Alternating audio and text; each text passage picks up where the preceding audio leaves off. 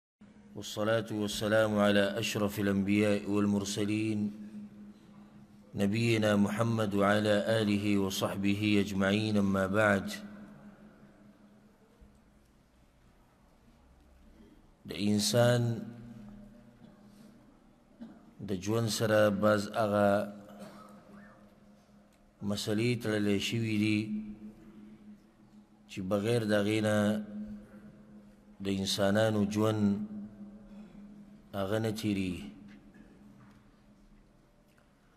ډېر مصالح او مصلحتونه دي چې دي او که دغه دې بند کړو نو د انسانانو د ژوند وسره ودرېږي او بندېږي په هغه مصلحتونو کې یو مصلحت او په هغه حاجتونو کې یو حاجت چې انسان ورته ضرورت لري هغه د بیع او شرا ده یو شی خرڅول یو شی اخیسته د انسان ضرورت دی په دغه باندې د ژوند روان دي په دې کې فایده هغه چاته هم ده چې څوک دا سامان اخلي او هغه چاته هم فایده ده چې څوک یې خرڅوي او دا مصلحه او مصلحت او دا د بيع او شراء دا مسله پخوانۍ او زړه مسله ده د کوم وخت نه چې انسان دی بس دغه مسله ده دومره ده چې پخوا دا مسله لږه کمزوري وه بیا د وخت تېرېدو سره هغه مسله مخې ته روانه ده لکه څنګه چې دا ژوند مخې ته روان دی نوي نوي آلات ټکنالوژي هر سره وځي تر دې چې نن سبا بيع او شراء خو دومره مخکې ورسېده چې اوس په انټرنېټ باندې يو انسان سامان خرڅولی شي او اخیستی شي د بازار مسله کوم ځي ته ورسېده دا د انسان د تطور سره دا مسلې روانې دي چې څومره د انسان مخې ته ځي نو دومره د ترقي کوي په حالاتو کې دغه جدا مسله د دین ده چې دین چې دی نو هغه چی څومره دا مسئله او څومره دا وخت تیریږي نو دینداری کمزوري کیږي او حدیث کې دا راځي پیغمبر صلی الله علیه وسلم دا خبره بیان کړې ده چې قیامت ته به نږدې فتنې ډېرې شي دینداری به کم شي علم به کم شي دینی ها دا خبره ذکر کړې ده پیغمبر صلی الله علیه وسلم چې لیکل به ډېر شي او د لیکلو نه مراد دنیوي علم دی چې دا به ډیر شي نو دنیوي علم په ترقۍ کې دی خو د هغې سره سره پیغمبر صلی الله علیه وسلم وایي او وی جهل او جهالت به ډیر شي نو انسان تعجب کې شي چې یو طرف ته پیغمبر وی لیکل به ډیر شي او بل طرف ته وی جهل او جهالت به ډیر شي دا خو دواړه د یو بر سره ټکراو خوري دا خبرې نو جواب د هغې دا دی چې لیکل به ډیر شي مطلب یعنی دنیوي علم به ډیر شي او جهالت به ډیر شي مطلب یعنی دینی علم به کم شي او اصل جاهل هغه دی چې هغه خپل رب نه پیژني او اصل جاهل هغه دی چې هغه پیغمبر او دین نه پیژني د دینی علوم سره چې کم څه انسان ته ملاویږي در دنیوي علوم سره نه ملاویږي موږ د ډیرو غټو غټو دنیوي علومو والا سره الحمدلله ناست یو، د هغوی مجالس او بیټکونه هم ما لیدلي دي او ما مجالس او بیټکونه د هغو هم لیدلي دي چې هغوی له الله سبحانه وتعالی په دین کې پوهه ورکړې ده، د هغوی په مجلسونو کې عاجزي، د هغوی په مجلسونو کې آداب، د هغوی په مجلسونو کې د پیغمبر یادېدل، د هغوی په مجلسونو کې د الله تذکره، د هغوی په مجلسونو کې د دنیا او د آخرت ترقي دا موږ لیدلې ده. د دې په عکس باندې د دنیادارو مجالس د هغه خلکو چې هغه دنیوي علومو کې یو ډیر غټ ځي ته رسېدلي په هغو کې به ته داسې وینې ښه ډېر چې هغه د چا سره دوا سلام کولو هم نه غواړي په دې د دې د لاسه چې ما یو څو ټکې انګلیش ویلی دی زه کوټ او پینټ او ټای مې اچولی ده نو چې انسان کوټ او پینټ او ټای واچوي نو دی د هر چا سره دوا سلام نه کوي دی د هر چا سره هر ځای کې نه کینی د هغه چې وینې د انسانانو نه جدا که ته په یو لوښي کې خوراک وکړې ستا هغه کې هغه خوراک نه کوي که ته ورسره لاس میلاوې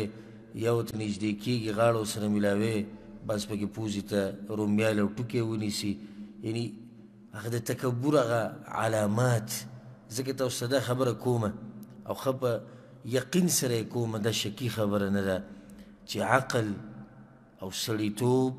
دا په انسان کې د دین د زده کړې سره راځي نه د دنیا سره راځي یعنی دا غرب د ملکونو ته وګوره د یورپ ته ښه تعلیمونه یې کړي دي ښه تعلیمونه یې کړي خو ته هلته وګوره څومره جنکۍ روزانه تختولی کېږي او د هغو سره په زور زبردستۍ زنا کېږي ته هلته وګوره څومره شراب خلک څکي ته هلته وګوره هغوی له د اوسه پورې دا چل نه ورځي چې انسان او دسمات یې څنګه کوي د دې چل ولم لا نه ورځي او ته دې ته وګوره چې د هغوی هغه معاملات د هغوی هغه ناسته پاسته ته وي نو ته به چې دا تعلیم خلکو ته دا شی ښایي که څنګه نو عقل او سړیتوب دا په انسان کې د څه د لاسه راځي د دین د زده کړې د لاسه راځي چې دین دې زده کړو هر څه به یې زده کړي کله کله به ته یو سړی ویني لیکل ولم نه ورسي لوستل ولم ور نه ورسي خو دا دی چې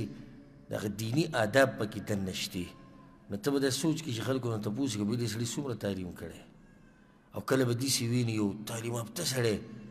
داسې د کم عقلو خلکو کار به وکړي چې د خو شه د خلک غوسه شي مړو داسې جاهل لره د ښکاري دله خو چې ته هیڅ نه ورسي او خبر نه چې هغه خغړ تعلیمونه کړي نو د سړیتوب او عقل او ادب د په انسان کې د څه د لاسه راځي د دین د لاسه راځي الحمدلله زموږ پیغمبر صلی الله علیه وسلم کم تعلیم کړی و هغه کم دنیوي یونیورسټۍ ته هغه تللی خو آداب چې زده کې نو هم د دقه انسان مدرسې ته به واپس کېږي نو هله به ادب یې زده کې ادب څنګه و دا تپوس ته د پیغمبر صلی الله علیه وسلم نه وکړه ادب څنګه و دا د صحابه کرامو نه تپوس وکړه ادب څه ته وایي دا د مسلمانانو د علماو او د امامانو نه تپوس وکړه الغرض انسانان په ترقۍ کې دي په دنیا کې خو دقه شان په کمزورتیا کې دي کم طرف ته په دین کې څومره چې وخت تیریږي دینداری کمزوري کیږي دا د پیغمبر صلی الله علیه وسلم دا حدیثونه دا خبره واضحه ده دا اور بن کرو رہا ہے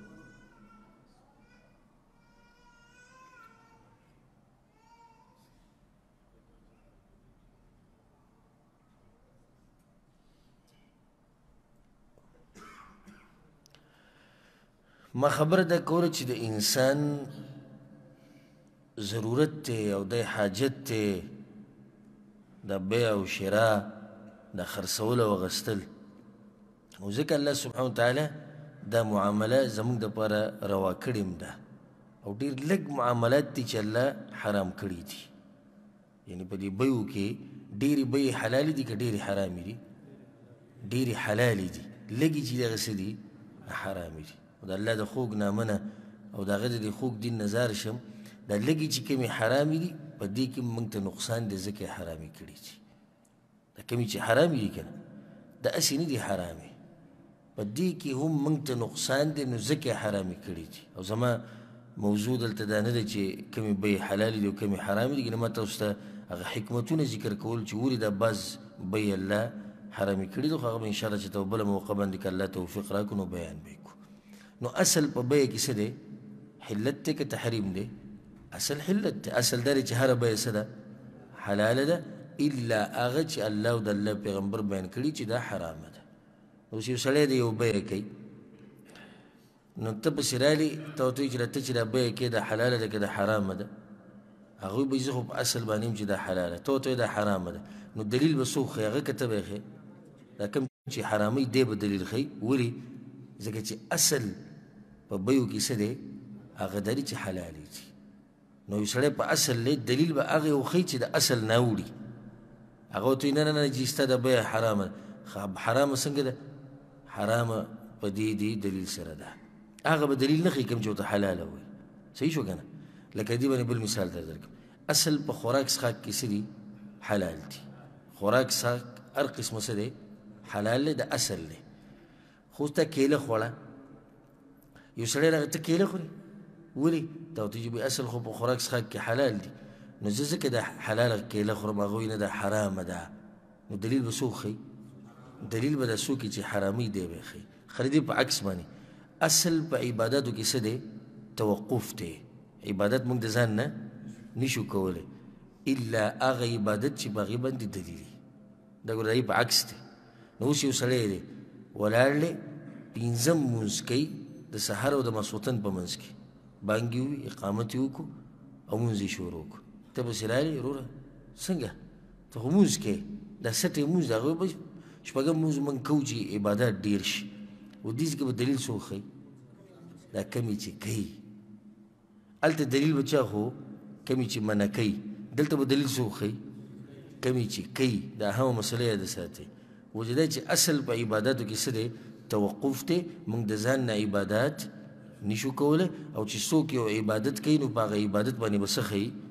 دلیل به ښي الله په قرآن کې وي په سورة البقره کې احل الله واحل الله البيع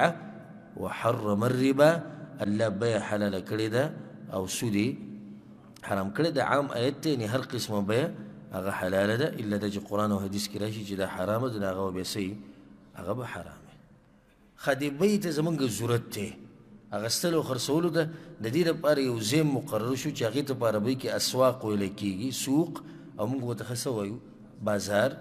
مارکیټ دوکانونه هلته خلک ځي او دا سامانونه اخلي بازار بیا په اقسام وي، بعض عام بازار وي چې په هغې کې هر قسم سامان خرڅېږي، بعض بازارونه هغه خاص وي چې هغه په یو سامان پورې، په یو خاص قسم شي پورې خاص وي چې په هغې کې صرف هغه مېلاوېږي. او دا فایده د ساتۍ په عربۍ کې بازار ته څه وایي؟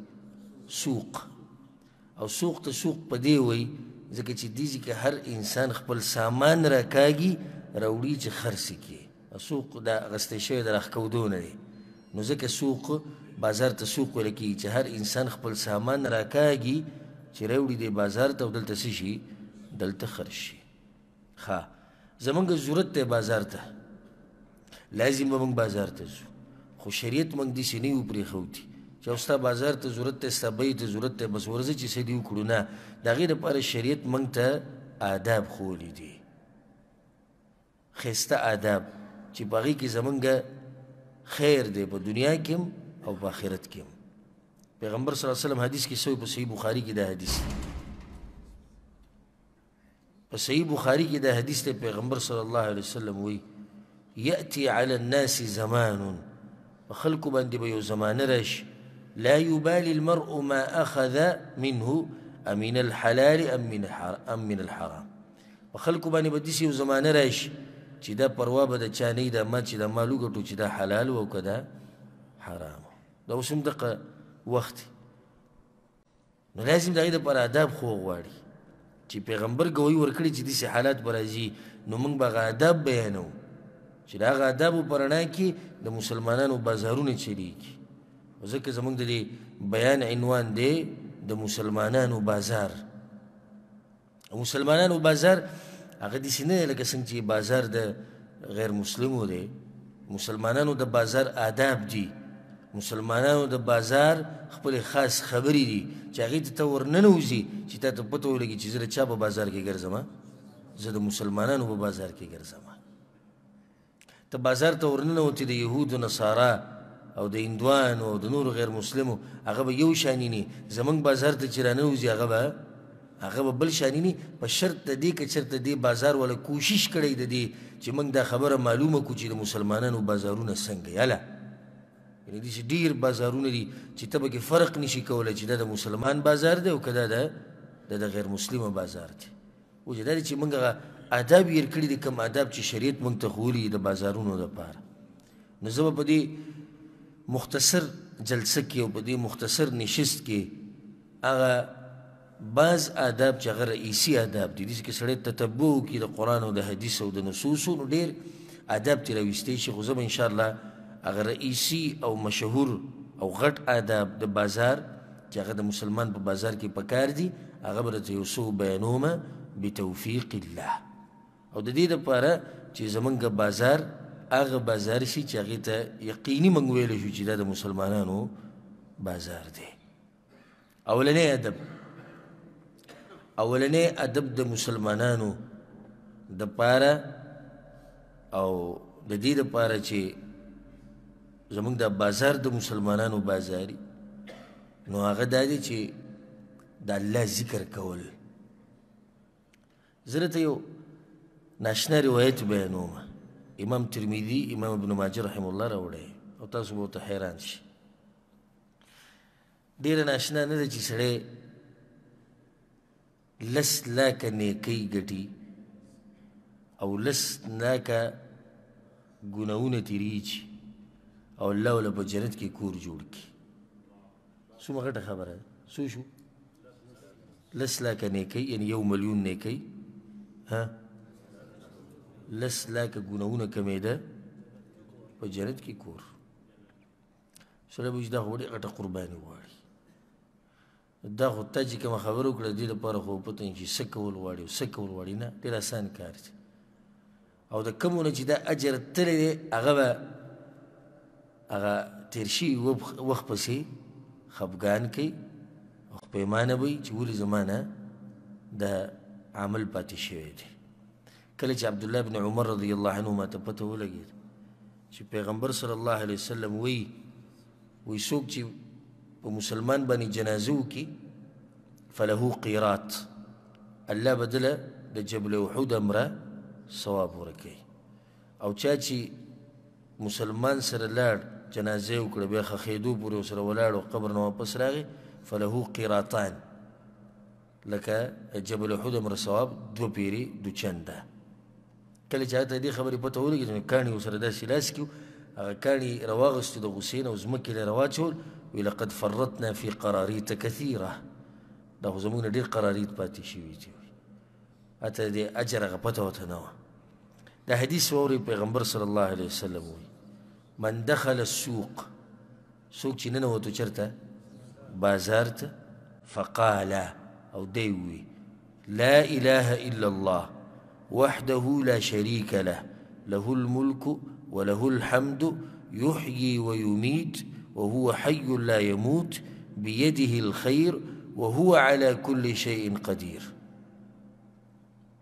بيلتو امشي يادك لا إله إلا الله وحده لا شريك له له الملك وله الحمد يحيي ويميت وهو حي لا يموت بيده الخير وهو على كل شيء قدير الله بوركي دي سليتا لس لاکه نېکیانې، ومحا عنه، او د ده نه به کمې کړي لس لاکه ګناهونه، ورفع له، او الله به اوچتې کړي د ده لپاره یو لاک درجې، وبنی له بیتا فی الجنة، او الله به اوچتې کړي د ده لپاره لس لاکه درجې، وبنی له بیتا فی الجنة، او په جنت کې به له الله یو کور هم جوړ کړي.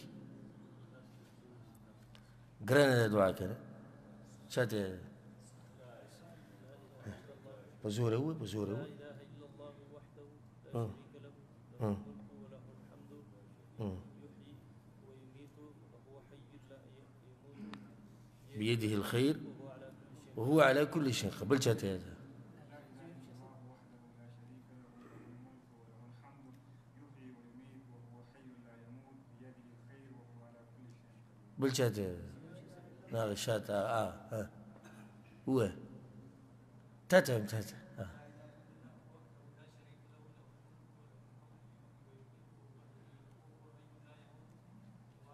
بيده الخير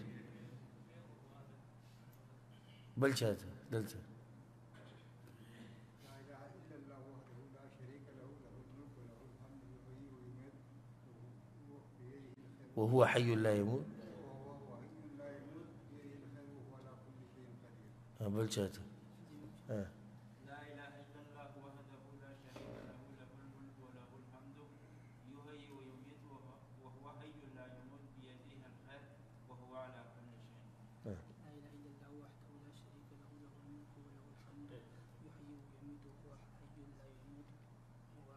بيدي الخير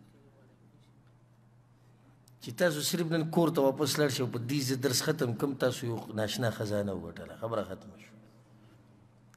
لس لاکه نیکیانې لس لاکه ګناهونه کمېدل لس لاکه درجې بلندېدل اوچتېدل او په جنت کې کور په دې دعا سره چې کله هم بازار ته ننوځې اولنی ادب یې زده که دا ذکر کوه ډېر اسان دی هېڅ ګران نه لا اله الا الله وحده لا شریک له له الملک وله الحمد يحيي ويميت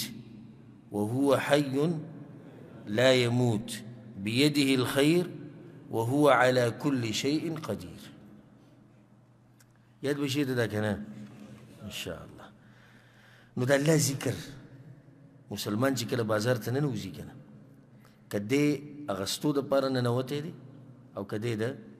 خرڅولو د پاره ننوتی دی او که د پکې دکان شتي او که د پکې نشتي خو دا ادب دی چې مسلمان به په دې باندې عمل کوي هغه دا چې په بازار کې د الله ذکر کول دا چې ننوځي دا ذکر به وکړي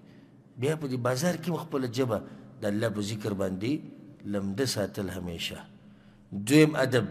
د مسلمانانو د بازار هغه دا دی او د مسلمان د پاره په بازار کې هغه دویم ادب هغه دا دی چې د مسلمانانو په بازار کې جنگ جګړې او چغې چوارې دا پکې نه پیغمبر صلی الله علیه وسلم په باره کې عبد الله بن عمرو بن العاص رضی الله عنهما دا خبره کوي په صحیح بخاری کې دا روایت دی انه ليس بفظ ولا ولا غليظ پیغمبر صلی الله علیه وسلم خوې بیانې وې د د خوې دي سينو چې سخ خوې یو ډېر نرم زړه والا انسان ډېر نرم زړه والا ډېر رحیم او شفقت کوونکی انسان ډېر مهربان انسان دویم ولا سخاب فی الاسواق پیغمبر صلی الله علیه وسلم په بازارونو کې چغې نه والي لکه دې خوره شه وایله په دومره څه رایکه د مسلمانانو شان نه دی مسلمانانو په بازارونو کې د چغې نه وهلی کېږي دا ادب دی د مسلمان دپاره لازم چې هغه یې زده کړي چې په بازار کې به چغې چوارې دا نه او نه به جنګ جګړې کړي زموږ په دې وخت کې خو په خلکو کې فساد ډیر شوی دی او جهل په خلکو کې ډیر شوی دی دغه جهل د ډیروالي د لاسه چې بازار ته ننوځي نو ناممکنه ده چې ته په بازار کې یو جګړه دوه وینې نه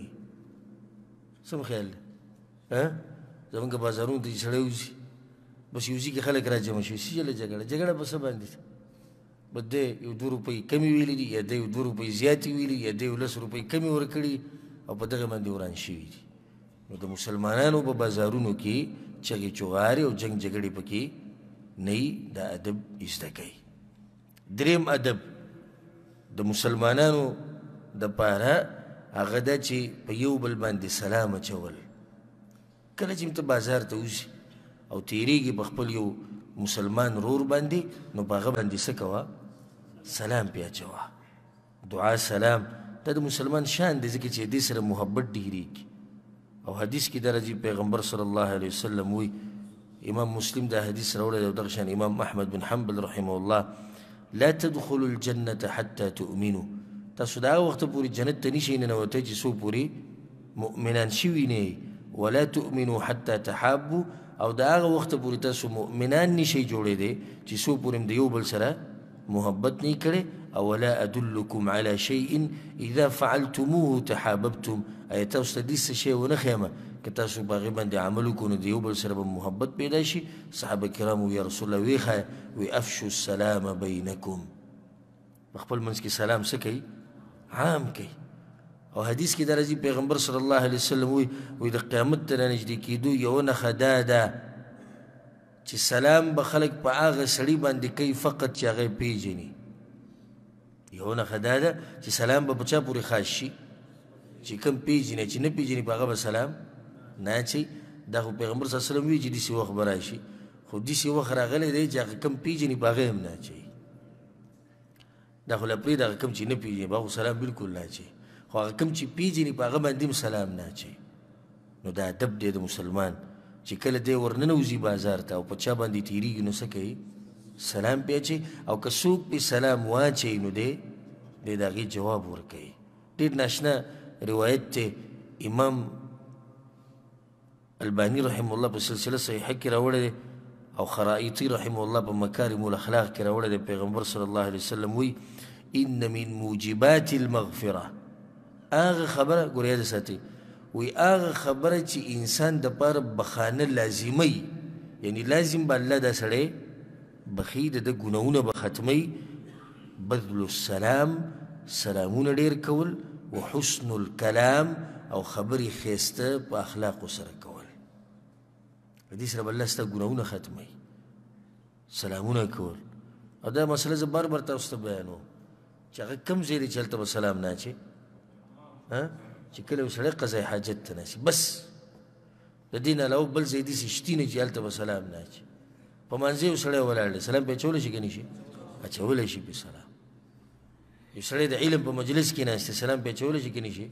اچولی شي پرې ډوډۍ ته ناست دی ها سلام پرې اچولی شي د رضان نه بعضو مولیانو دا خبرې لیکلي دي بې دلیله چې پلاني ځای کې سلام نشي اچولی پلاني ځای کې نشي یو شل پنځه ځایونه ذکر کړي ټول بې دلیله انسان چې کله د پیغمبر صلی الله علیه وسلم د حدیثونو مطالعه وکړي نو صرف دقه یو ځای به کې راښکاره کېږي چې هلته به سلام نه چې او غاله چې کله یو انسان ته ویني او هغه قضای حاجت ته ناسي نو بیا به سلام نه بچي او نور به سلام عام کړي څو ادب شو درې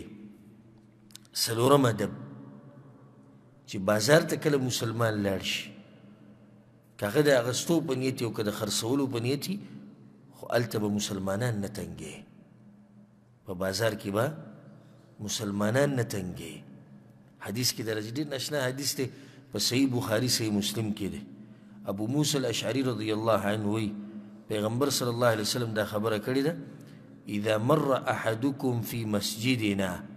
تاسو کې یو سړی زموږ جوماتونو ته راځي او فی سوقنا یا زمونږ بازارونو ته راځي ومعه نبل فلیمسک علی نصالها او قال فلیقبض بکفه ان یصیب احد احدا من المسلمین منها شی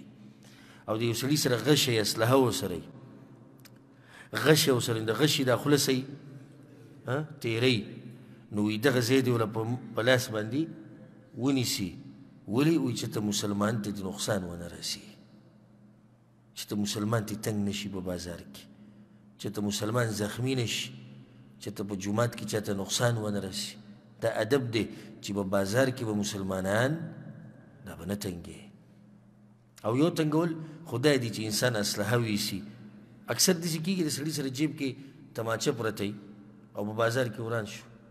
معمولي خبرو باندې یعنی وړه خبره خو شیطان سړی څه کي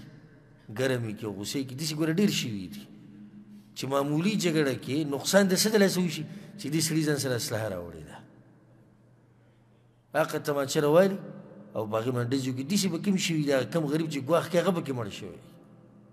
داسې واقعیت پکې هم راغلي نقصان څه شي وکړو هغه دغه اسلحې وکړو چې د ځان سره په بازار کې ګرځوله ځکه پیغمبر صلی الله علیه وسلم په هر خبر په هر خبره کې څه حکمت او فائدہ پکې د مسلمانانو لپاره په دنیا کې او په آخرت کې تشن دا خبره ستي د مسلمانانو تنګول یو دادی په بازارونو کې سندري لګول او دمتوب عام کول دام د مسلمانانو تنګول لي دغه هم ځان تالکان وي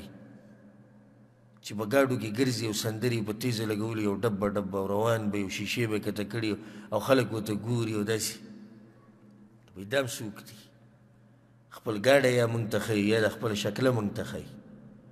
او یا دا خبره موږ ته ښیي چې زما په کور کې زما داسې تربیت شوی دی زما مشرانو ماته دا ښوولي دي چې کله ته په بازار کې ګرځې نو په تیز اواز سندرې لګوه که چېرته بوډاګانې چې هغه تنګ شي که چېرته دینداره خلک چې هغوی ته اذیت ورسي که چېرته زنانه روانې چې هغوی تنګې شي که چېرته ماشومانان روانې چې د هغوی غلط تربیت وشي د دې اګر که په دې ژبه یې نه وایي خو دا کردار یې دا وایي چې د ده په کور کې تربیت هغه هغه داسې شوی د مسلمانان تنګول دي بعضو دکانونو ولا سجل کړی دا ته ډیره فائدہ من خبره کوم په خپل خو په دې ګناه کې واقع دی چې سندري په دکان کې لګولې دي او به په زور لګولې دي خو دې ګناه ته وګوره څومره غریب دی دی او څومره عاجز دی چې په خپل خو په ګناه کې واقع دی خو د نورو ګناهونو په ځان باندې نه ده کوي نو د نایي چاپ ته چې ورننوځي نو دی پکې ناسي سندرې لګولي او یو اووه اته سره نور ناسي هغوی هم دا سندرې اوري داسې که نه پیله مې لګولی پیله مې لګولی درځي دی پیله مې لګولی ورسره شپږ وناستې هغه هم دا پیله هم ګوري په خپله خو دی ګناهګار شو خو دا د دې نورو هغه ګناهونه یې هم راواغستو په خپله اوږه یې بوج کړي دي څنګه یې ځان تباه او برباد کړو د مسلمان په بازار کې او د مسلمانانو په بازار کې سندري مندري نه ورده کیږي د مسلمانانو په دکانونو کې داسې نه کیږي چې خلک را جمع کیږي او سې لګولای ټیپی لګولای او درس درس جوړي د مسلمانانو په بازارونو کې نه دلته یو فائدہ او غدا د بل ادب شو پنځم ادب دا شو چې په دې دکانونو کې دا اکثر خلک را جمع کیږي د یو بل سره او دا په کلو کې ډیر کیږي په نسبت د د خاریې هلته دومره نه نو سکاري نه هلته د چا سکار نه اکثر کنه سهار رپشي پرش چې او پراټه والی او وخته وخته بنګس کړي تازه روزي د کور نو بیا څه کوي اکثر دي سي دي ګور الا من رحمه ربي لګ دي چې الله دې نه ساتري یا د ونی لاندې په دوه درې ولاړي یا د سزي کې به دړې ته ناسي او نور پې لګي جمعي او یا په دکان کې د درزي سره ناسي او یا به په چاپ کې ناسي او یا به په بل ځای کې او بل ځای کې ناسي او د مسلمانانو غیبتونه به کوي چې څوک تیر شي دغه شان دوه به ناسي دا په دغه قصه شروع شو یو پاو ساعت په ده پسې خبرې کېږي، نو بیا چې که بل تېر شو، نو بیا په هغه پسې خبرې کېږي، نو ځغیبت څومره لویه ګناه ده. د مسلمانانو په بازارونو کې ځغیبتونه هغه نه کېږي او نه هلته په مؤمنانو پورې خندا کېږي. زه دغه وروڼو ته دا وایم، د کومو چې دوکانونه دي او د هغو سره خلک کېني پاسي، چې خیر دی، دې کې هېڅ حرج نشته، ستا سره دې کېني پاسي، خو دومره دی چې دا ادب ورته وښایئ چې ما سره کېنئ، نو د چا ځغیبت به نه کوئ. نه به په چا پورې خاندئ نه به په چا پورې ټوغې ټقالې کوئ ځکه چې دا خو لاره د قسمه قسم خلک تیري او ما بعض او ما بعض دومره سپک لیدلي دي دومره سپک او شتي چې کله زنانه تیریږي نو په هغې پسې به یو داسې خبرو کې چې هغه مسلمان د هغې د اورېدو طاقت نه لري دومره سپکه خبره به وکړي شتي دي چې نشته ها که زما دا خبرې غلطي او زه ځان به زیاتې کوم ما ته چې دي څه نشته موږ نه دي لیدلي چې زنانه رواني دوی په دکان کې ناشتي نو په دې زنانه پسې بسو کې خبرې و پسې وکي نو دکان کې خوري شي ناشتي او دی نقصان دی دکان کې ناستې دامي که چېرته زنانه دننه راتله غواړي نو دننه نشي راتلی او که راشي نو په دوی کې به بعض هغه فاسقان او فاجران دي چې کله دا زنانه وځي نو په دې پسې خبرې شروع کړي زه یو پیر یو بازار کې دا واقعه ما لیدلې په خپله یو زنانه تېره شوه عربۍ زنانه وه او څه پښتانه ولاړو درې څلور نو هغو ډېرې هغه سپکې خبرې وکړې چې زما په خوله نه راځي او نه موږ الحمدلله کولی شو په دې زنانه پسې خو دا خو هغو ته پته نه و چې دی پښتن دی په دې زموږ په دې خبرو پوه شو نو زه پسې ورغلم دوا سلام مې ورسره وکړو اجي صاحب ما څنګه چې ما ته یې کتو حیران عربی ګوره د پښتو یې زده کړې که څه بیا به ته په زور مې څنګه یې وي خیم خیم ما ډېر زبردست کار دې وکړو وي څنګه جي پوه نه شو ما یو زنانه ستا په ژبه نه پوهېده او خاون یې نه ورور یې نه و هغه دې وشرموله ته ما ځان ته مسلمان وې او بیا ته ځان ته پښتن وې ستا په خزه پسې خزي دې مشتي کې سازو خزي شتي او شتي شتي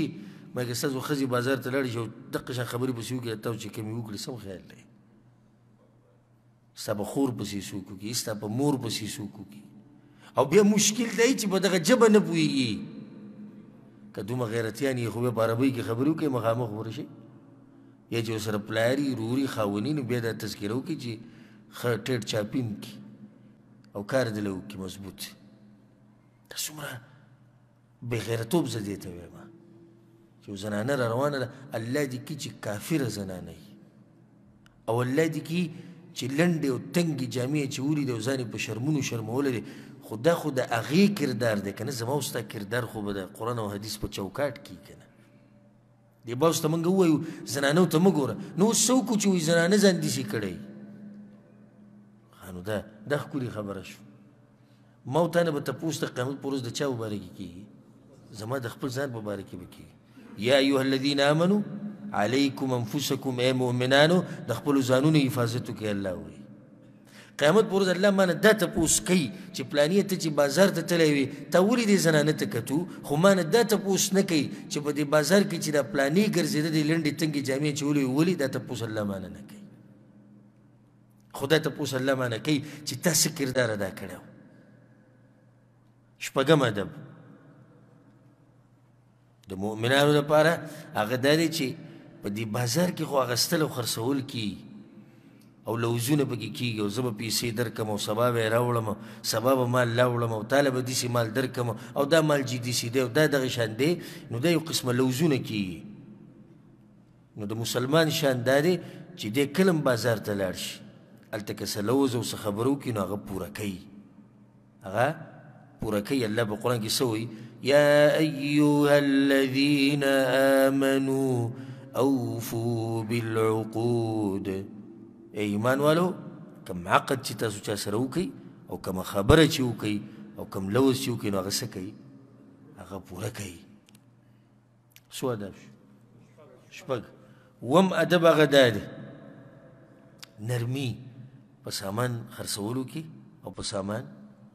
غستو کې ډېر ناشنا روایت دی امام بخاري رحمه الله راوړی وی رحم الله عبدا الله دې هغه بنده باندې رحم وکړي سمحا اذا باع سمحا اذا اشترى سمحا اذا اقتضى څه شي خرڅي ډېر په نرمۍ څه شي اخلي هم ډېر په نرمۍ که چا باندې پیسي نو د هغه سره مسله ډېره په ارام ختموي ښه په ارام مسلې ختموه مړه په دوو درې روپو کې چا سره مونږ ښه ده دا څنګه ته ګرم شوی وي دا پشم به د خولې نه ځي ته به راشې لکه څه چل د دوه درې روپو مسله ده مړه دومره سختي مه کوه ښه دکاندار دی به ورته وایي زه یو پنځه روپۍ کمې که لس به کوم دا به ځان ټیټ کړی به ځان نه به کاڼی جوړ کړی چې نه دا پنځه روپۍ او دا لس نه کمیږي په کار ده چې مسلمانان د یو بل سره نرمي کوي زه خیر ته ځه مه راکوه او دې ځینې دی څه ووایي که یې دوه روپۍ درته پته ولګي چې زیاتې اخلي یا درې زیاتې اخلي زه مړه خیر ته ځه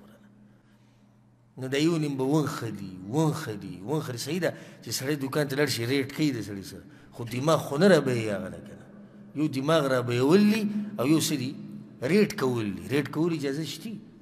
خو دومره اوس به سړي پورې ونخلي ونخلي ونخلي چې اخر کې هغه غریب دا بس تاسو دیږئ مجبور شي ویسي ویسه یې راسي ویسه دې د دې څه مطلب دی چې ویسه دا خسړې ته ته جاسي ویسه تنګ کړی دی د پوزلې دی راوستې دی دا غوی د دینه خدای چې دی اسی ویسه خو چې اوس ته دی جاخین مې الله خلاص کی مؤمن سخ نه مؤمن سی نه روي باغستو کې هم په خرڅولو کې په مسله ختمولو کې د مؤمن مسلې ګورې زر ختمي که چېرته دا هغه ادب یې زده کړی کوم ادب چې د الله او د الله پیغمبر صلی الله علیه وسلم ښوولی الله یې دا ادب په مونږ کې راولي اتم ادب هغه دا دی مسلمانانو په بازار کې دوکې دړاکې نه کیږي دا هم ادب دی ډېر اهم نن سبا ورته ډېر زیات صورت دی د مسلمانانو په بازارونو کې دوکې دړاکې دا نه کیږي دروغ، دوکه، غدر، خیانت دا زموږ په بازارونو کې الحمدلله نشتی حدیث کې سره راځي په صحیح مسلم کې دا حدیث دی وی مر النبی صلی الله علیه وسلم علی صبره طعام پیغمبر صلی الله علیه وسلم یو پیر تیر شو نو چې ډېرې ولاړو د خوراک د غنمو په هغې باندې رسول الله وسلم تیر شو فادخل يده فيها په دې ډیري کې دا لاس ورننه ویستو فنالت اصابعه بللا دا ګوتې لمدې شوې وقال ما هذا يا صاحب الطعام هلکه وایي دا څه دي ګوتې لمدې کړې هغه ورته یا رسول الله اصابته السما پرون به باران شوی باران پې شوی دی نو لمدې شوي دي نو ما هغه لمدې لاندې کړي د وچې مې پې له پاسه کړي دي رسول صلی الله علیه فلا جعلته فوق الطعام کي يراه الناس نو دغه لمدې به دې بره کړي چې د خلکو ولیدې که نه دا د مؤمنانو بازار دی کوم به دې بره کړی وی هغه لمدې به دې بره کړی وی دا د مسلمان دکان دی دا د مسلمان بازار دی مخامخ کې چې خلک ویني بیا پیغمبر صلی الله علیه وسلم من غشنا فلیس منا چا چې موږ له دوکه راکړه زموږ په امت کې نه دی دوکې په ډېرو طریقو سره کېږي زما دا موضوع نه بیا برانه خبره ډېره اوږده شي خو مشهوره دوکه یو سامان کې عیب دی او دی پټوي یو سامان مثال کې د د چاینا لپاسې په لیبل د سیش لګولې جاپان یا انګلند یا ایتالیا دای په لګولې یو شی اصلي او دیسی او نقلی د یو ځای خو دی یو بلته نو ګډوډ دی ګډوډ کې څه پیدا ها پته پکې نه لګي خوسته دکان ته ورننه وتی ځان لساري موږ به چې ځان لا ګړیلې ها دکان وته چې اصلي ګړې علم ګور هغه موږ سره چې اصلي پرتی دي کم دي اصلي دادي پرتی دي پنځه ګړې پرتی دي یو شان وې د سدي اصلي دي په دې کې دوه درې اصلي شتي روالي قاصلي تعالی والا وګوره دا دي ته په اوسو کې خوا کې دکان کې ورشه هغه د ویسو خوا ته دکان ته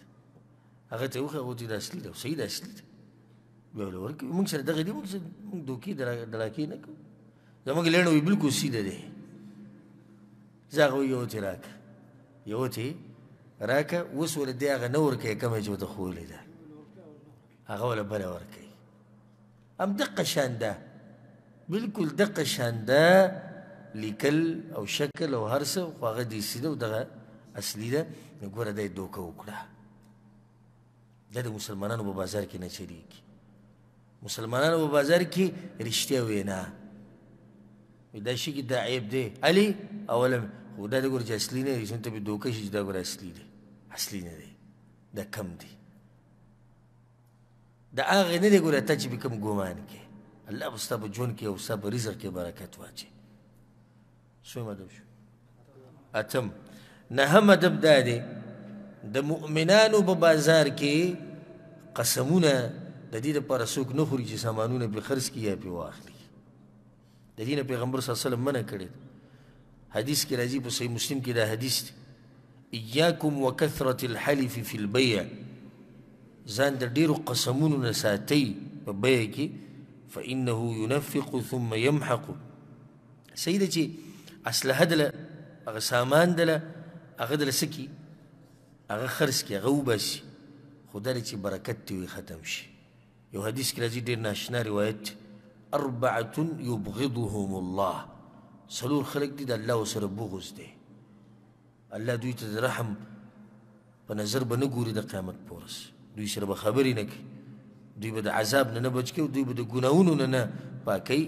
په هغو کې یو د رسول سموي البیاع الحلاف هغه سړی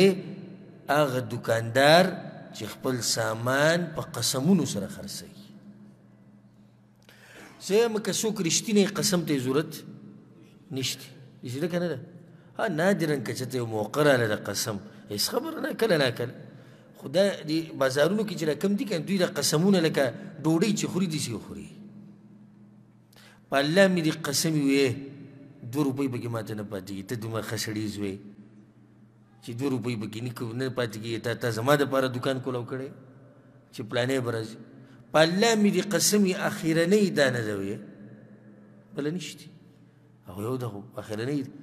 هلته مسوده صحیح ډکه پرته په الله مې دې قسم وي اوس یو کس راغلی او وي اخلم یې خو دې خوا ته دوکان ته ورغلی نو ستا خپله مرضي لاره روان دی سامان په ده باندې راکړي په الله مې دې قسم وي د خرڅولو نه دی خو اوس ته را باندې څه ته را باندې ګران یې در خرڅوم سر چې دا ګاډي خرڅوي که نه نه چې نه خرڅولو ګاډی دی نو څه پکې به خرڅولو تاته خصه پوي د خرڅولو نه دی یعنی لایق د غستو نه دی د کی اشاره ګوره دغه طرف ته ده کو سړی به پوښ ګاډي جوړ د خرڅولو نه دی یعنی مطلب دا چې د هغه کنډیشن کې د هغه حالات کې دی چې د خرڅولو نه دی خانو څنګه به خرڅه وتا سره باندې ګرادي ځکه پتا باندې خرڅو دا قسمونه او په دې سره خپل مال ویسته د الله نه یره پکار دی ته به څو روپۍ وګټي سل یاله به وګټي دوه سوه زر به وګټي خو د الله د نوم دې څومره بې قدري وکړه یو بې ضرورته قسمونه او بیا قسمونه هم د دروغو نو د الله دا نوم ته د دې دپاره استعمالوې چې روزي پې ګټې او د الله د نوم ته ته دومره سپک ښکاري چې سامانونه پې وباسي او د الله د نوم ته دومره سپک ښکاري چې سامانونه پې اخلي دا بل طرف ته هم قسم خوري ګورئ او هغه دي دکان ته ورغی دا شی په څو دی دا جي دا وخت په څلوېښت روپۍ دی په الله مې دي قسم ما خو اوس دغسې کوه پنځه دېرش روپۍ ولید دروغ خو قسم یې وخوړه نو هغه هم حیران کړو چې پنځه دېرش باندې زه به اوس موږ ته ځکه چې دا شعر ته پاتې کی زه یې وایل او پنځه دېرش واله زه دا ته په درو قسم وخوړو هلته د سره دا لیدلی نه دی او که لیدلی هم د په دغه ریټ کې دغه نه زیات خو هغه ته قسم وخوړو ما به پنځه دېرش روپۍ لیدلی د مسلمانانو په بازارونو کې قسمونه دا نه د الله د نوم په قدر او احترام کې د الله نوم دې لپاره نه چې ته خپل سامان وباسي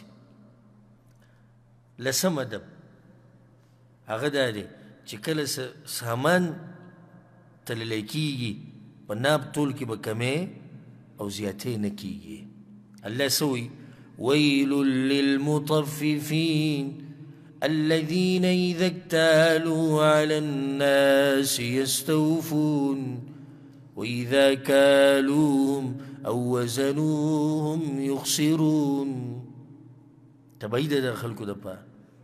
چې ځان دپاره څه شی تلي نو ښه برابرې تلي و اذا کالوهم او وزنوهم یخسرون د بل دپاره چې تلي نو هغه کې بیا کمی کوي یو څو ویډیوګانې ما لیدلي نن سبا خو هر شی په دې ویډیوګانو کې چلی یو کس ولاړ دی ګاډۍ ورسره ده په هغې کې سبزي خرڅوي او فروټ پکې خرڅوي نو بس سړي له تیلې ورکې واچوه پکې ته به خپله غوره کړې هغه پکې تیلې روالي ورواچي ورواچي به یې وتړي دله یې ورکړي نو دی په دې تله کې داسې کېږدي او بیا چې داسې روان لاندې ورسره بله تیلۍ پرتې دا غوزار کې پل دومره ماهره دوی چې ته به پوه هم نه شي به داسې داسې په دا لاس داسې ووایي هغه غوزار کړه بله یې راغستې ده هغه ولې چې ځي چې کور ته ورشو چې دا ګن خو ما نه غوره کړی چې راشي وي دا ورور ته موږ څه وګورو تا له ما تیلې درکړې چې ځان له غوره کړه د خو ستا قمقلتیا دی چې دا شي نه دي غوره کول غریب به یې راشي ورور دا خبره هم صحیح ده نو خوریان شي چې ګورې پیریانو پکې څه چلو کو که دا څه چلو چې دومره زیر خراب کړو خطه به ودرېږي قصابي ته چې مال به ګوره غوښه راکې په دې کې به چربي دې کې به دانه کې دې کې زړه غوښه نه نه نه وي ته ودرېږه ګوره ورته وایي ته پال خد استرګي سنور کا دینه پری دي دغه په پرځه کلی کومه س پروګرام واغلم غوخه غسته زموږ خپل هغه میزان سره بوت ځکه چې دا غزي بده ماحول سره هغه سره د دې جلته ډیر پاتې شوی هغه میزان سره بوت مې راځي دا غوخه حالو ته پويږي وځي جزو هغه بره دغه ته وروخته قصابي سره هلته کېناستو لکه ما کته را کوزه وروي دا ته نه پېژنې وي ما هغه وایي چې موږ ته ګوره وي که اته سترګې دې ولګولې که نه دې پکې دا شی اچوي خو دې سره زه بره کېنم دې دې وړق ووایي زما نه وی به ورته داسې وکړه داسې وکړه داسې ته زموږ نه روپۍ اخلې او ته ښه شی په دومره دی خو موږ د هغه ښه شي روپۍ درکوو نو بیا پکې ولې ته دا ګنجا خبره اچوې پکې د الله نه یره پکار ده د مسلمانانو په بازارونو کې دا دوکې دړاکې او دا کمې زیاتې نه وي په ناب تول کې بعضو څه چل کړی د تله کې څه چل کړی دا ښه برابري خو مثال کې پاو د هغې غستن اسې خوځېږي نو چې ته پکې سامان واچې نو دا پاو سره اسې ډېرېږي دا ته دغه تله ده دا ده دلته یو پیر زه تللی وم یو ځینې مې غوښه ښه د تلې مخه ته ده د تلې مخه د ما دوی ښه برابر دي ما د تله ته ما ته لږ راوګرځو سړی غوسه شو زه تا ته دروغجن ښکارم ډېر لکه ما ما ستا باندې ډز خو نه دی کړی خو دومره مې وویل چې دا تله ته ما ته مخامخ کړه چې زه یې ووینم چې دا څه حالات دي چې را مخامخ کړه نو په یې کې کمی کړی او بل دا ناشنا تله ده چې مخه ده ته ده او خلکو ته بس کیلو دي او دوه کیلو دي ته خو دغه مخامخ کې چې مونږ هم وینو چې له څه حالاتو کې دي نو زه چې ډېر لږ خلک وي چې الله به د دې دوکو دړاکو نه ساتلي او ډېر خوش قسمته مسلمانان به چې دی د تجارت کوي او دی د په بازار کې او د ده د لاس نه دوکې نه کېږي دی دروغ نه وي دی په دروغ قسمونه نه خوري دا ډېر لږ خلک به تا ته میلاو شي ډېر لږ به درته میلاو شي او الله د هغوی په مال کې بیا برکت ومچي ښه یولسم ادب دا دی پیغمبر صلی الله علیه وسلم منع کړی ده نه نبی صلی الله علیه وسلم عن النجش متفق علیه حدیث ده نجش څه ته وایي هغه ریټ چې د دروغو په دروغو زیاتوي ته به ورشي ګاډی د بوتو که نه مسلمانانو بازار دی ګاډی د بوتو زه ګاډی خرڅوم ښکړې به ته ودرې ته پسې به دا کسان راشي او تا ته به وایي چې ته به عربي کې سمسار وویره ما له راکړه موږ به درله خرڅ کړو ما له به پکې ما له به پکې پنځه سوه ریاله راکړي اوس د ده کار دی دا سامان خرڅول نه په ده زړه سوځي دا کوم چې خرڅوي او نه په هغې زړه سوځي دا کوم چې اخلي د خپلو پنځو سوه روپو سره کار دوی څه چل کوي د دوی سره پوره ګروپ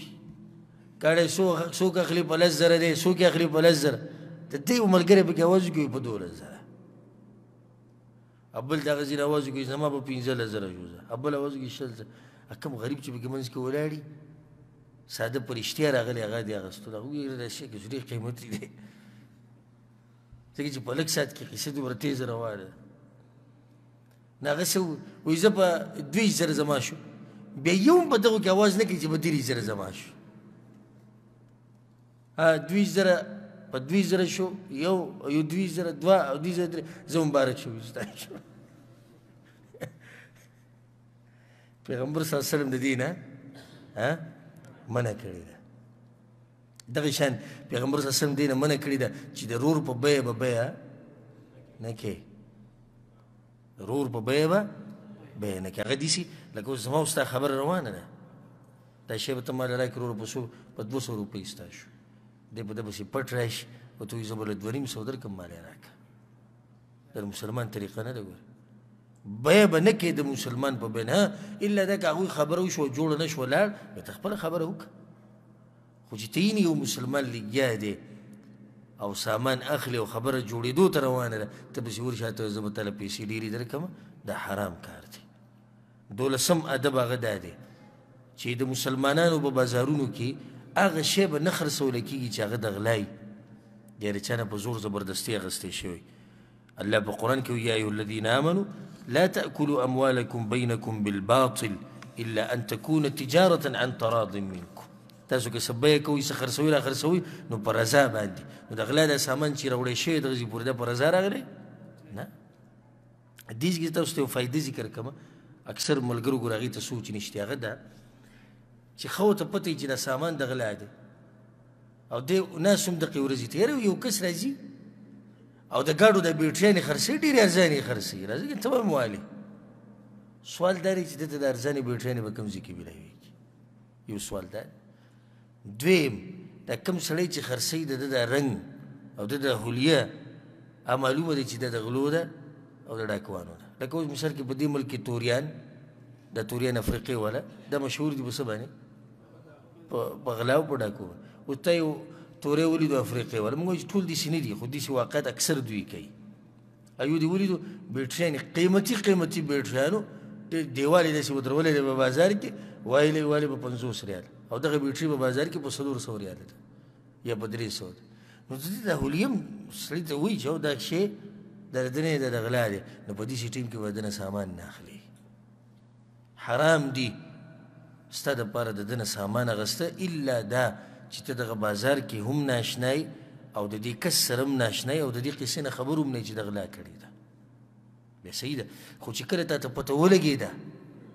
چې دا سامان د غلا دی یا د دې سړي د دې کردار نه نو بیا به سره ته دا بیانه کې ولي ځکه که ته تې خپه شوې تا تې وانه غستو ما وانه غستو ده وانه غستو دی به سبا له غلا وکړي نه هغه به وایي چې په بازار کې دا شی نه خرڅېږي وایي الله اکبر دې سه حالت مو ته جوړولې شو کړ زما وستا کار دی هر شی موږ حکومت ته پراته جو حکومت دا وکړه حکومت دا وکړه مو ته په خپل خپل بازار برابرولې شو او غدي سه راځي د نن اتفاق کو چې د غلا سامان به موږ نه اخلو غل بغلاو کی نه کی ځکه چې غل خو غلا دې لپاره کوي چې خرسي کوي ځان له پیسو خوري نو چې هغه ته څوک په بازار کې نه اخلي نو غل د سره لپاره غلا کوي اشاره کنه نه نو ته اوس ګوره دا اکثر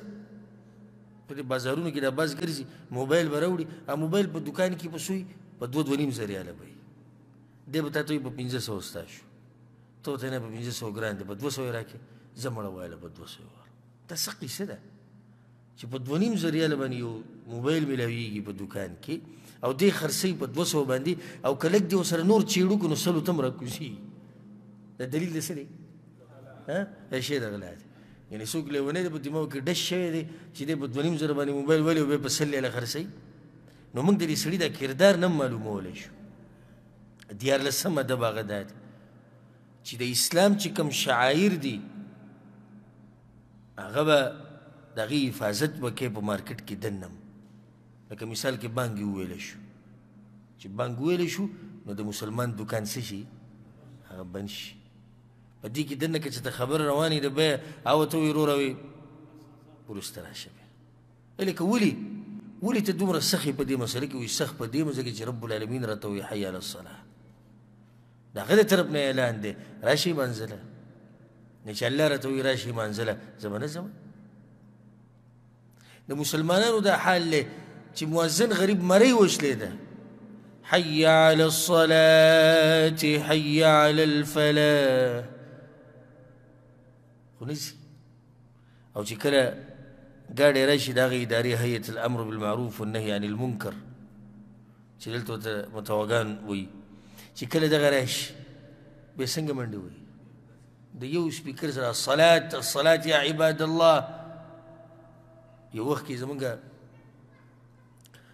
کور دې چې بازار ته نږدې و ډېره مخکینۍ خبره ده زما عمر کم و په هغه ورځو کې ډېر نو هغه بازار کې به د جمعې په ورځ ډېر زیات رش و د بازار د دې بطحې دا بازار و دغه ځای کې زموږ کور نو تاسو ته پته جمعې په ورځ هلته د خپې ښودو ځای نه بنګالیان او انډین او پاکستانیان او افغانیان او ټول پکې ولاړ او عرب نو بس موږ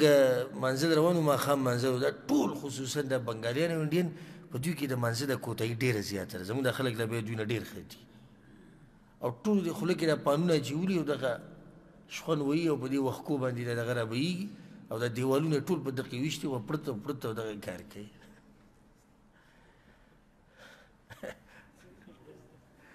زه په لاره باندې تلم ما یو دوه ته نصیحت وکړو ما یې بای صاحب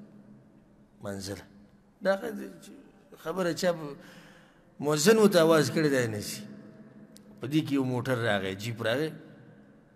چې همدقه ادارې والا و چې د ښه کار امر کې بد نه منع کړي الله دې داسې ادارو حفاظت وکړي چې راغی یو اواز یې وکړو که نه الصلات زه درته په الله قسم خورم د الله په کور کې ناست یم یو خو دې خلکو جومات ته داسې منډې کړي لکه د دې پکې پته ونه لګي چې اودس د دوی به اودس وکړه نه وو دا خو زه منم نه چې دې ټول اودس وروغ خو دا زور د څه و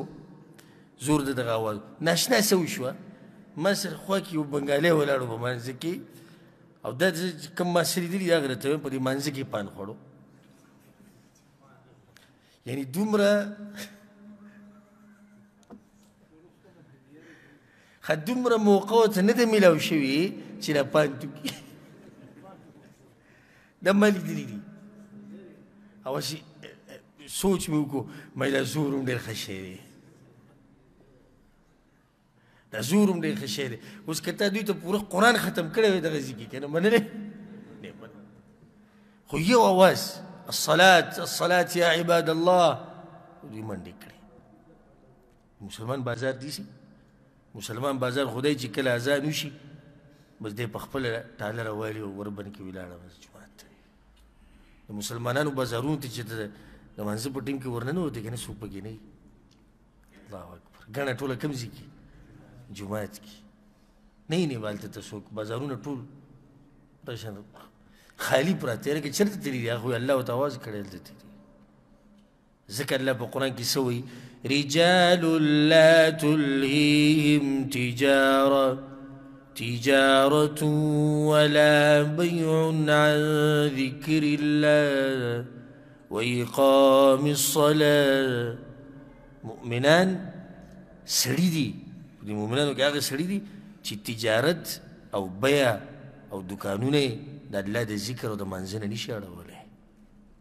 وخلک درې سو ادب په تادی سره وای سوال لسم ادب هغه دی د سترګو حفاظت چې بازار ته نه نوځي کنه یو ځي ته بل ځي ته مګوره او دا ګوره د ښه سړي طریقه نه ده ګوره چې دا یو نیم سړی مې لیدلی که نه چې سره وایي کورونه کړکۍ ته به ګوري داسې او دا کور دی چې کېدای څوک کړکۍ کولاو کړي زنانه راښکاره شي یا بل څه چې یا به دلته ګوري ګاډي کې څوک روان دی هغه پسې به دا سر دا زموږ د پښتنو ډېر غټ عادت دی حقیقت به وایو داسې ده که نه زموږ په دې پښتنو کې دا ډېر غټ عادت دی چې په کوڅه پناه شوی نه پرېږدي دغه شان به د سترګې سرور کې نیغ نیغ به ته ګوري دا طریقه صحیح نه ده خصوصا په بازارونو کې زنانه ګرځي الله وي قل للمؤمنین یغضوا من ابصارهم مؤمنان به د سترګو حفاظت کوي دغه شان زنانه وقل للمؤمنات یغضضن من ابصارهن زنانه به د سترګو حفاظت کوي د مسلمانانو په بازار کې د سترګو حفاظت کیږي دا د مؤمنانو بازار دی چې لاړې لاړ شي هغه ځي ته ګوره کوم چې مقصدي ځای دی ستا هدف دی هغې له تلې لاړ شي او دا یو ځي ته کته او بل ځي ته کته ما بس لیدلي دلته د شته را بازار چې ولاړ به ځوان شیر سازا د ول جوی راوته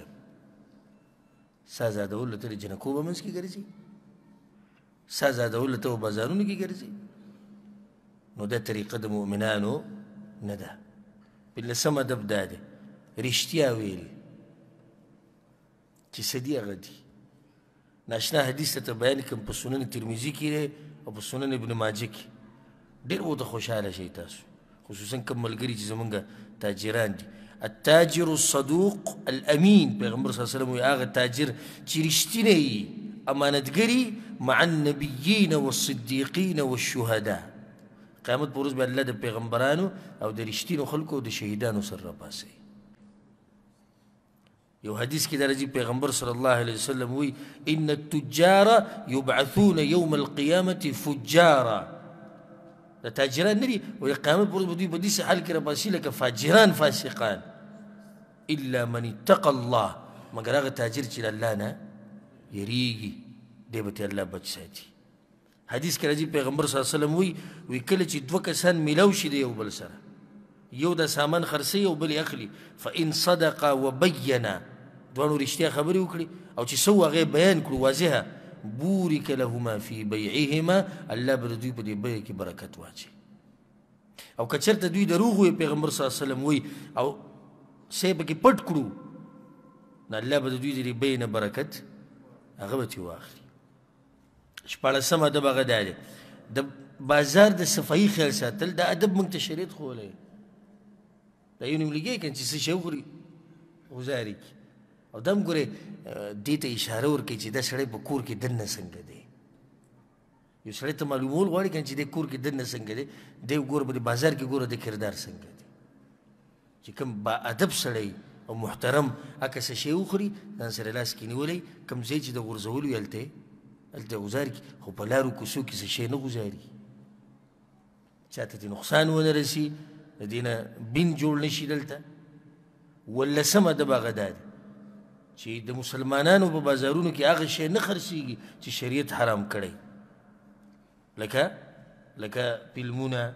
سندرې دغه شان د ټنګ ټکور د سامانونه دغه شان نور چې کوم ناروا شیزونه په شریعت کې هغه هلته نه خرڅېږي ولله الحمد اتلسم ادب هغه دا دی چې تاجرانو له پکار د خصوصا چې هغه څه یې زده کړي چې هغه د تجارت سره تعلق ساتي په کار د کم څه کم دغه خو زده کول غواړي که ځکه عمر بن خطاب رضی الله ناشنا قانون جوړ کړو دا به وی ویلا یبع فی سوقنا هغه سړی به به نه کوي زمونږ په بازار کې تجارت به هغه سړی زمونږ په بازار کې نه کوي الا من تفقه فی الدین مګر هغه سړی چې په دې مسلو باندې پوه هغه به تجارت کوي ته ته پته کې چې لین دین چې کوم زما روان دي دا څنګه دی په دې کې سود شتي کې نشتي دا معامله جایز ده او کنه جایز نو لسمه د بغه داري چې زنانه ول نه د پکار چې بغیر ضرورت بازارونو ته ځي نه د پکار زنانه ول حدیث کې راځي پیغمبر صلی الله علیه وسلم دو قسمه جهنميان ذکر کړي یو پکې دی و نساء کاسیات عاریات هغه زنانه چې لغړی دی او جامې اغوستي دي لغړی دي او جامې اغوستي مطلب څه شو دا کمی جامې چې اغوستي دي په دغه جامو کې لغړی دي مائلات ممیلات په خپل مایل دي پردو الکانو ته او پردي الکان مایل کوي ځان ته ځکه یو حدیث کې دام راځي چې مؤمنه خزه ولاجه خراجه نه چې په مخه وزي ورنوزي کور ته وزي بازار ته بیا راځي یونی یونی زنانه ده د بورقه کې تاسو خیر کړی دی کور د غټي دروازې لري دغه سره به شاته پرته خو معمولی باندې غواړي او سم سړی غم خادی تم ځان رسي بازارونو تم ځان رسي هر ځای کې دا ګرځي دا د مسلمانې ښځې شان نه دی ها تلی شي بازار ته خو کله چې کله ضرورت هم اسلامي په آدابو کې دننه پردې لحاظ به کوي هغه شان پرده به کوي کوم پرده چې په شریعت کې راغلی دی شلم شلم ادب شلم ادب هغه دی نارینه و دپاره که څوک چې ته بازار ته ځي او ځان سره د کور نه څوک بوزي چې هغوی له څه سامان اخلي نو اول خو دومره ځان سره بوزي چې څومره ضرورت دی لکه یو زنانه ته ضرورت دی دوو ته اوس بعض داسې روانې چې ټول کوړمې روانه کړي او دویمه که بوزیم نو هغوی ته دا ووایي چې ما سره څوک ګرځي نو هغه به پرده کړي په شرعي پرده کې به ما سره ځي دا پې لازم کوي دغه شی دغه شان سوی مدب شو یوشتم یوشتم ادب هغه دا دی چې بازار کې د سب په کاري قضی ته ورځه پالتو د ریټونو ته پوس مه کوه دا ادب دی دا یې نوم کې خیر کړی که نه ادب څو دی دا جي په پنځلس راغلی دی ښه نو دی اوس په لس به رانشي نه پلس نه راشي او دې ځای نه به وځي بل ځای ته به وځي هغه کې به ګرځي هغه کې به ګرځي اخر کې دیرې ته دقه شان راشي کور ته سره تلو دی د چکر ولته دا غلطه طریقه ده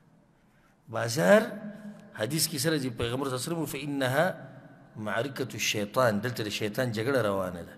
د شیطان جنډه د غزي کې لګېدلې ته به پالتو ګرځي خدا بس کوي یو برواني بازار ته او پینځه سره اسی ګرځي خیال هم کړی که دا کلم چې دلته زموږ د ملګري کلي ته ځي په چوټۍ روان وي بازار کې له مخې له ورشي د یو سره به کمبل په لاس کې شپږ اوس راشي که پالتو بازار کې ګرځېده دا د مؤمن شان نه دی حتی الوسع کوشش کوه چې بازار ته دې ضرورت را نه شي د سره مزه دغه ځي ته دا د فتنو ځای دی او که ځي ضرورت مطابق خپل کار ختم کوه بیا راځه اخرنی ادب به دا ذکر کو اگر که ادب ډیر دي دویشتم ادب هغه ده چې څنګه کار ختم کې نو ډایرک د بازار نه وځه دا یو ادب دی هسې مه پاتې کېږه هلته پیغمبر صلی الله علیه وسلم څه وایي حدیث کې دا راځي لا تکونن ان استطعت اول من يدخل السوق ناشنا ادب دی پیغمبر صلی الله علیه وسلم وایي وی اولنې انسان مه جوړېږه چې بازار ته ننوځي یعنی دا یو نیم انتظار کوي خو اولنې کس چې بازار ته راننوځي دی پیغمبر وایي که کولی شي نو د دغې نه ځان بچ کړه ولا تکونن ولا آخر من یخرج منها او نه دې شنه چې اخرنۍ دې ته وځي نو کوشش کوه چې کار دې څومره وي هغه ختم کړه او بیا زر ته زر د بازار نه وځه دا بعض آداب و چې د بازار سره تعلق ساتي اگر که آداب ډیر دي خو دغه رئیسي آداب و چې مسلمانانو له پکار دي چې دا آداب تطبیق کی عملی کی په خپل بازارونو کې په خپل ژوند کې په خپل معاشره کې نو زمونږ په دنیا کې هم الله برکت واچي او په آخرت کې هم الله برکت واچي الله دې زمونږ بازارونه